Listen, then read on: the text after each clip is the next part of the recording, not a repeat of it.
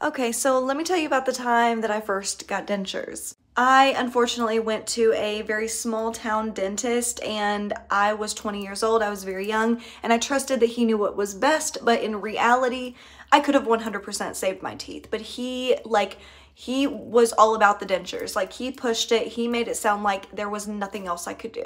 So I went for it and I got the dentures, but my advice is to save your natural teeth if you can, like save your teeth if you absolutely cannot save your teeth and they all have to be pulled, I do recommend saving whatever teeth you can um, because the you want to have something in the bone. So you have bone loss because of the, the teeth are being gone. They're they're gone.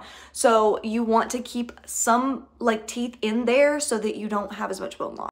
But it all depends on who you go to and getting multiple opinions on what is best for you.